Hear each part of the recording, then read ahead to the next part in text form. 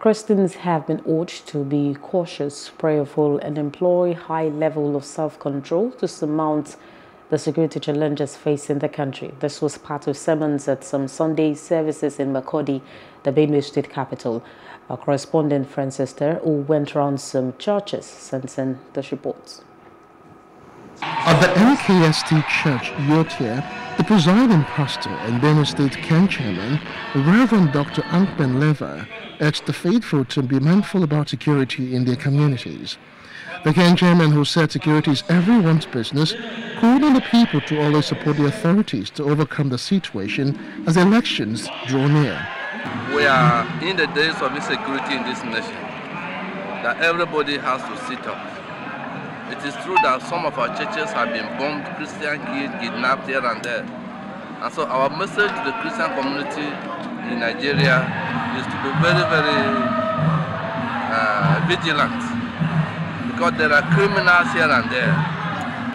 It was the same ambience at the Glory of His Majesty Ministry where a guest preacher and paramount ruler of Idoma, His Majesty Dr. John Odogbo, centered his message on praying to destroy the evil in the land. Meanwhile, the general overseer of the church, evangelist Mike Ewache, charged Christians to always pray for the future of the country. Bible says, "My people that come by my name can humble themselves and pray." God will change situation. It's not about saying it; it's about practicalizing it. And I know that God is saying, if the people of God can rise and pray, there's going to it won't work. Reverend Sunday Tucker of the Church of Christ High Level, Makurdi, identified lack of self-control as a challenge to the present society.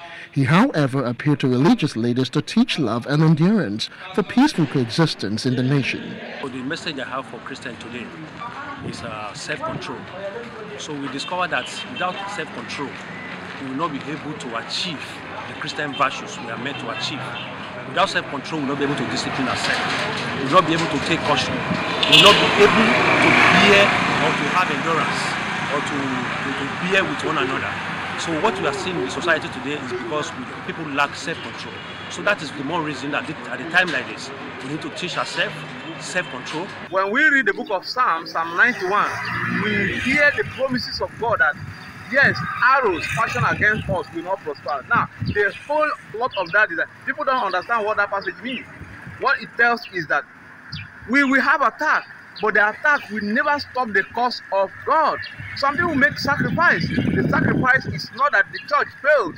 It is because some people are making the sacrifice for the name of God to be glorified. What? If you hold on to your faith, when attack comes, I am telling you the truth, the devil will not prevail. But if you don't hold on to your faith, even though you are a believer, when it comes, you fall victim. Christian and worship centers have now become possible target of attacks in recent times, so it was no surprise that religious leaders have taken it upon themselves to enlighten the congregants.